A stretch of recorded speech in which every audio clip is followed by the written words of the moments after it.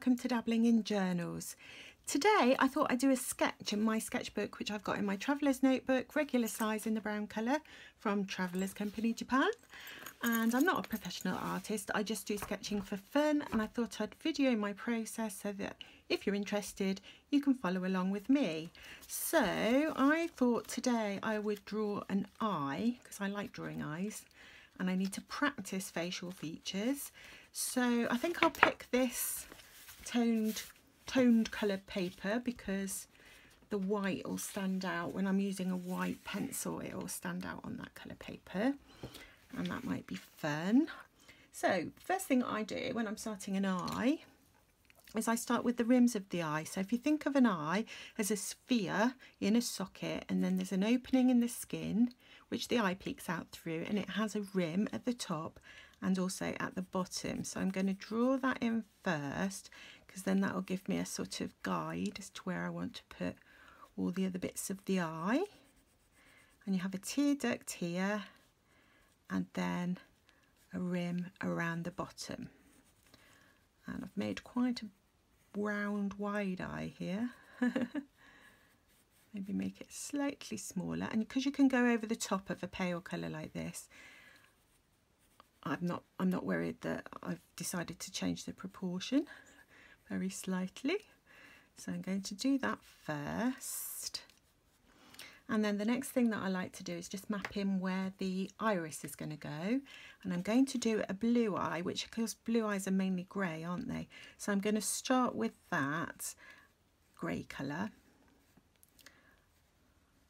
Oh, and if anyone's interested, I'm using Polychromos pencils and that first one was Light Flesh and this one is called Grade 4. When you're drawing the iris, remember it's sort of partly hidden by the eyelids, so it's sort of behind them, so it's not like a perfect circle. And I guess what you have to try and do is try and make it look as if there is a circle there that's hidden. So you want that sort of circular shape, but with a flat top and a flat bottom, she says, making it bigger and bigger and bigger and bigger. oh, because I'm filming this, it's going to come out rubbish, isn't it? Let's see. Maybe it will, maybe it won't.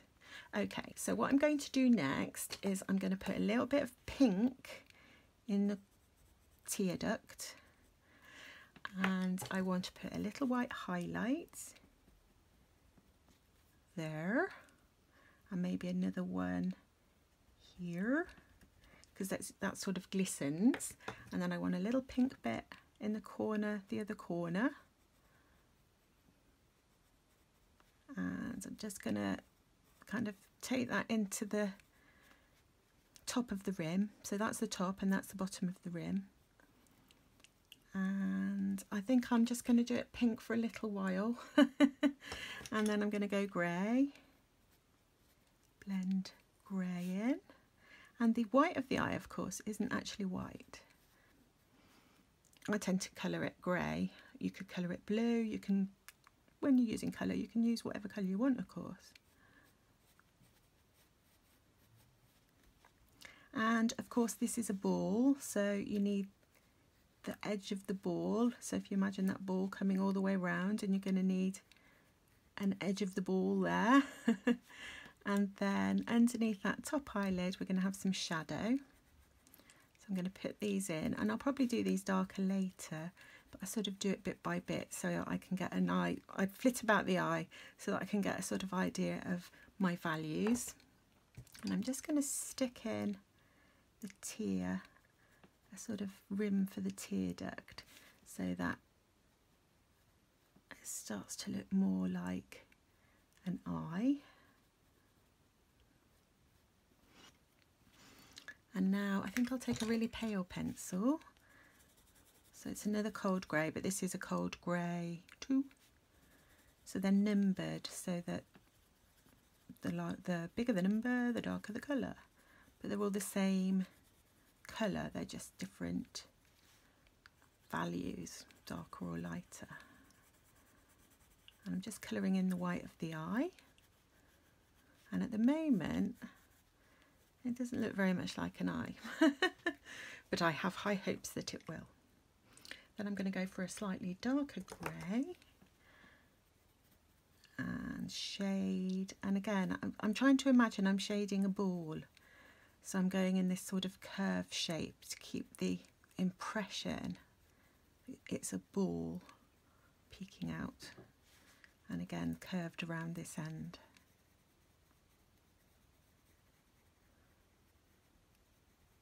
Here we go. And try and make it look a bit more like an eye. I am going to put the pupil in and I'm not going to put my highlight on the actual pupil for this particular drawing. I might do one like that afterwards. I'm just going to try and get my pupil round. they always end up bigger than I want them to because I, in order to get them round they seem to get bigger and bigger, the ever growing pupil. Okay, and then I'm going to use a white pencil and this is a Luminance 6901 pencil because it's my favourite white. So I'm using that for my highlight in my eye and I'm going to have a sort of oblong one here and then I'm going to have just a little spot of highlight on the other side I think and that will make the eye look nice and shiny I hope. I'm going to start putting a little bit of colour in the eye or in the iris I should say. I'm going to start with a little bit of blue because I just want the blue underneath and glistening through and not sort of I don't want the eye to end up looking too blue. Because I don't think that's all that natural. Although some people do have really bright blue eyes, don't they? Then I shall do some more shading around the edge of the eye, trying to get it a better shape. Shadow under the top eyelid. And I'm going to start putting some of the like sort of little squiggles and things that you see in eyes just random little lines and dots and various things, texture. I'm going to put a little bit of yellow. I always put yellow in blue eyes, I don't know why I do that. Obviously it'll end up looking green. Then I want to go darker, even darker. And I'd sort of go darker gradually because I suppose in case I go wrong and I feel like oh I know once I know where I want everything to be and maybe more confident. And also, I guess you get a sort of better idea as you go along as to how dark you want something. And it's much easier to make something darker if you've made it too light than it is round the other way. So I err on the side of caution and start light and then I get gradually darker and really want that dark shadow at the top there. I think I'm going to go even darker. And I'm using an indigo blue or dark indigo I think this is actually. And I just want to make that go even more deepen that even more. The outside of the iris tends to be the darkest part of it but it is a bit kind of I'm blending it a bit because when you look at the eye it's not like a smooth straight line. There's lots of intricate patterns and colours and all kinds of things in the iris. And everybody's eye is different. I, well, I assume because on James Bond films they use people's eye eye scans to open things. I mean, can they really do that? I have no idea. I don't. I don't always know whether what I have seen on television is fact or fiction. Just putting a bit of a shadow in that highlight. And I'm thinking that that eye is going very blue now so I want to make it grey down a bit. So I'm going over with the grey and blending. So I've got I've ended up with quite a dark eye haven't I? That's fine. I'm going to put a little bit of light light grey in and now that my eye is so dark, more rather my iris is so dark, I'm wondering whether I need to darken up the white of the eye, but let's wait and see. I think the next thing I'm going to do is put a little bit of a highlight just around the corner of the tear duct. just because I like to remind myself I like a little highlight there and I don't want to forget. I want some bit darker colours. So I've got, um, what's this called? Pompeian red, I think it says. So any red, obviously, um, just to add a bit of texture inside the tear duct. And I think I want to just another little bit of a glisten. Could do with sharpening this pencil. And then I'm going to go with that other pink, which was medium flesh. Yep. Going around my highlights, giving it, making it look nice and pink.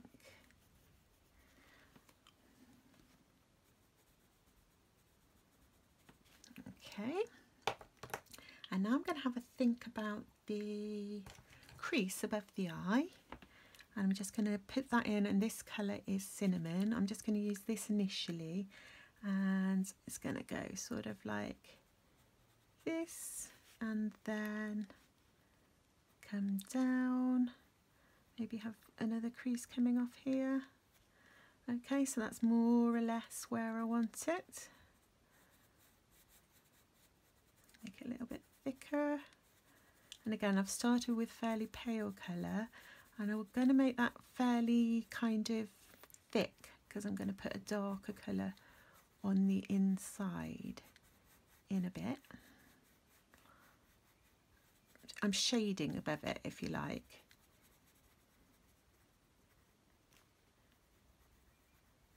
Okay, so let's put in a darker colour and what shall I use? I've got Caput Mortuum here and I'm just going to try and get that right in the middle or towards the bottom of where I've put the pink just because I want to deepen up that crease. I hope my head's not in the way of the camera. And soften that. Soften that. And I think I'm going to be sort of daring with my colours around this eye.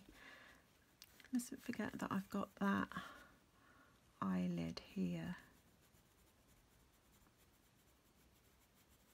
I don't want it too dark though otherwise it looks a bit weird. But I'll put it in a bit more because I don't want to forget about it. So I've put it in a bit darker. It was in in a pale colour initially, if you remember, but I'm just making it a little bit darker just to remind me about that rim at the bottom. It sort of goes across here.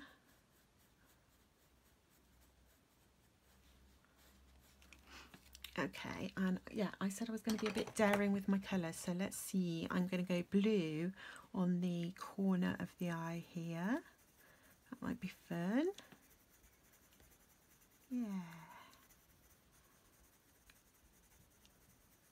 Blue on the corner, which was quite bright. And then I'm going to go, I'm going to put some skin tone down first. So I think I'll use this one, which is brown ochre 10%. I've got a little stubby bit left. It's one of my favourite colours from the Luminance range because it's a very natural creamy browny colour. I like this colour a lot. In fact, I might put some in there as well. that top eyelid and then I'm going to put a little bit I'm going to put a few sort of wrinkles do we call them wrinkles laughter lines you have sort of a few of those, don't you? And I just want to add a bit of blue colour. This isn't blue. This is violet. Is it violet? Yeah, violet. Under the eye. Just brighten up my drawing.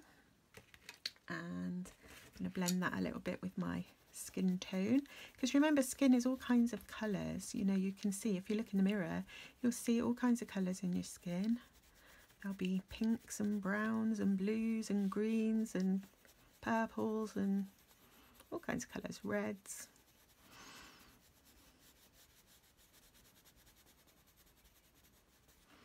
And I'm going to take, oh this is one of my favourite colours, it's burnt ochre.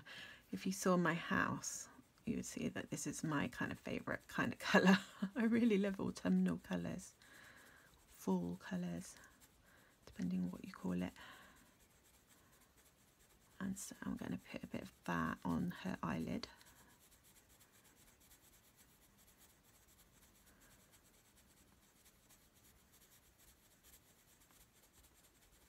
And I think I'll put some on the outside as well of her eyelid. It'll look more like an eye once it's got eyelashes, she says, hopefully. And you see how the pencil, you can put layer of pencil over layer of pencil. And if you, this is just a sketch, so I'm not being ever so careful. And I'm just practicing really and seeing what kind of colours I like because then when I do a sort of fuller drawing, which takes a long time with colour pencil, it's nice if you've done sketches and you've kind of got an idea of what colours your pencils are, depending what set you have. And although I do have a lot and I forget, I just like to experiment really, and it's quite nice just to experiment in your sketchbook with different colours to see what you decide you like the most. And I think I'm going to take that little bit under here. It's looking a bit like eyeshadow, isn't it?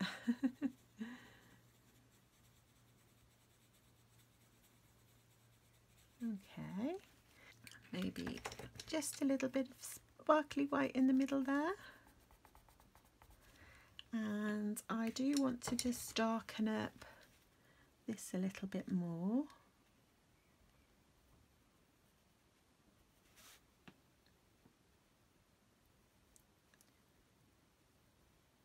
and I'm going to put a little bit of blue into the eye. What's this called? Pupil. I'm going to put a little bit of blue into the pupil. It's already got black. I'm putting some blue and then I'm going to put a little bit of my Caput Mortuum which is a reddy brown and I'm just hoping it will just make it look like a richer colour. Still black but a sort of richer black. I don't know, do you think that made any difference? I'm not sure. Um, I want to deepen up my crease in some places, so maybe where where I've put the colour, maybe here.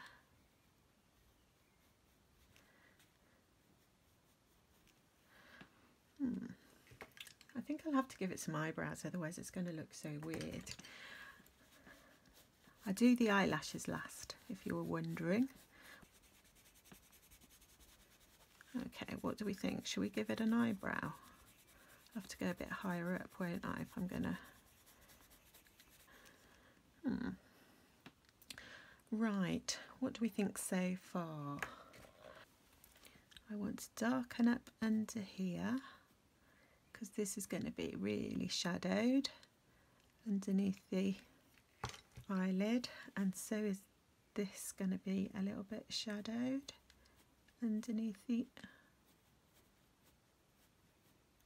colour am I using? I think I'm using blue. You see, it doesn't really matter what colours you use actually. What's more important is whether they are light enough or dark enough for the purpose that you're using them. So sometimes I pick up the wrong pencil and then I think, oh, actually, I quite like that. And I hadn't thought about putting dark blue on the top of the eye before. I quite like how it looks. So that was a happy accident. And you see how, even though I coloured the whites of the eyes grey, they don't look that grey anymore, do they? Or do you think they do?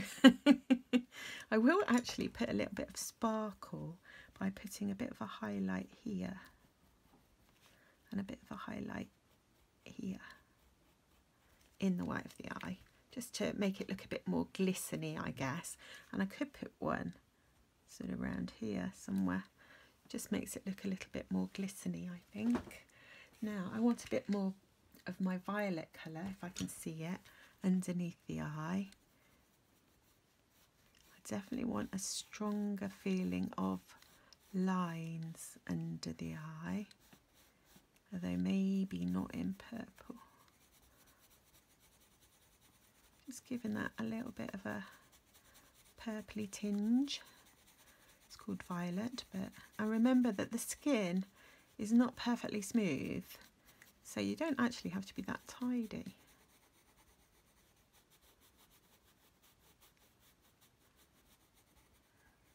I do think I've done that lower eyelid a bit too dark a pink. So I am going to see if I can lighten that by putting white on. Yeah, I think that's better. It felt a bit too pink. What kind of eyebrow should we have? Uh, let's start with this colour because we've already used it just to map out where we want the eyebrow to go. So I'm just going to do little pencil strokes because obviously the are going to show. So you want them to sort of be going in the direction that your eyebrow would go. And we'll give her a nicely shaped eyebrow. Not very natural. She's plucked it.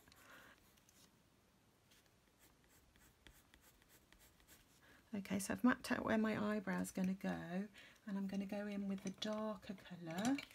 So what have I got here? I've just took a brown walnut brown and here I'm going to put some more just little strokes for the eyebrows and I want to go in the direction that the eyebrow hairs grow which tends to be from the top, doesn't it? Down.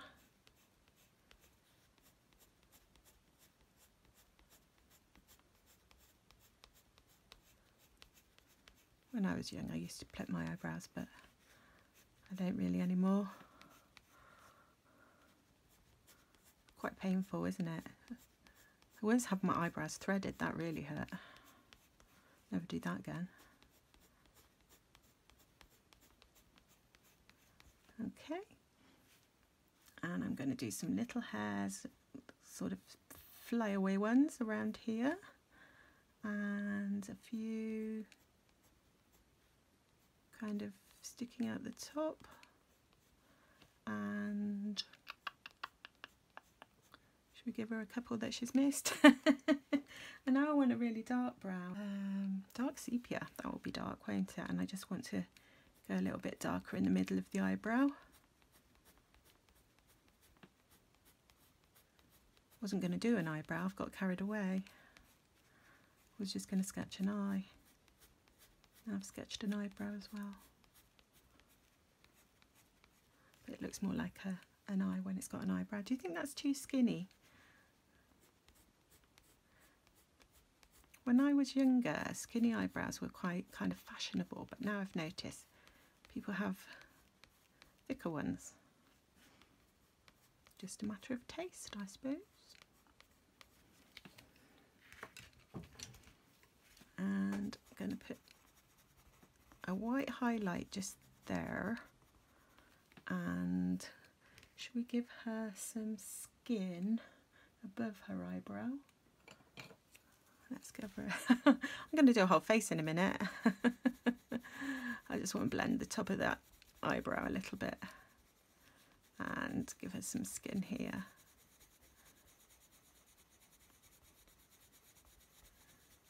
Sort of pinkier.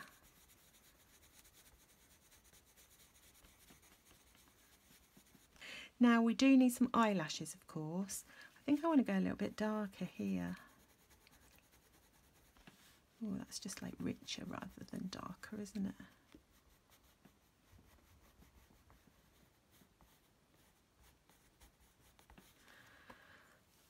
I just love just doodling away with coloured pencils. Uh, I just, I don't know why I find it so much fun, but indeed I do find it. I feel like that tear duct is a little bit on the big side. I'm going to make it a little bit smaller, which means losing some of my glistening bits, but I just just done that with brown. I thought I picked up grey. Oh well. That's definitely defined now, isn't it? I just felt it was like too big, that tear duct. What did you think?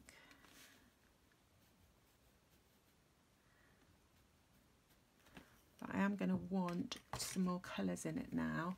Um, let's go for a red here or along the top and can I get a little bit more white in there? I think that's better. I don't know. And just make that rim a bit thicker. So what I tend to do is just exactly what I'm doing. What you see me do now is I just fiddle. I like fiddle away till I'm happy with how it looks or until I have to go and do something else. Because it is just a sketch in my sketchbook. A little practice and experiment with colours. Now I did want some more sort of, I don't know, eye wrinkles down here. Oh, that's a better colour. I can see that now. Um,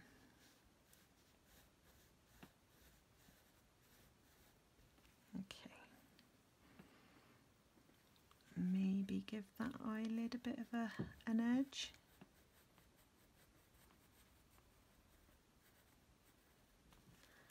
There. Shall we go? I think I've been doodling on this doodle for long enough. Shall I go in and do some eyelashes? Eyelashes are always a bit on the scary side. Um, I just, just want to like brighten this up a little bit. Um, a bit more yellow. I don't know why, just felt like a thing. Okay, and obviously with your eyelashes, they come out from under this eyelid and then they flick up. It's kind of scary doing eyelashes, I find. Oops. See? And sometimes they clump together like that and sometimes they don't.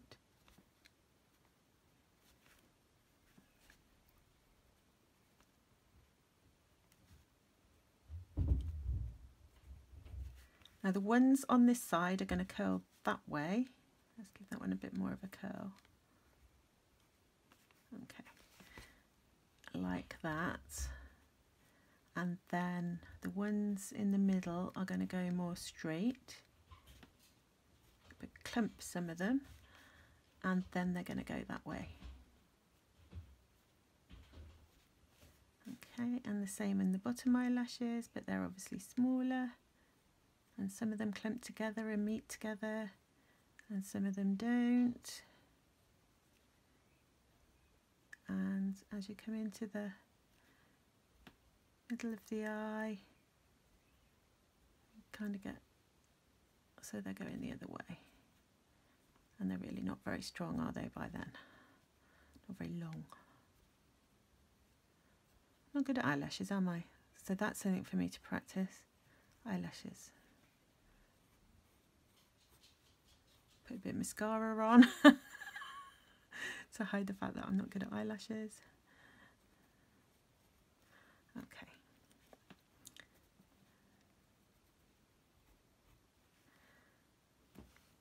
What do we think?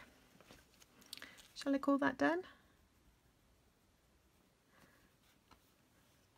I think I'm going to call that little sketch of an eye done. Thank you for watching.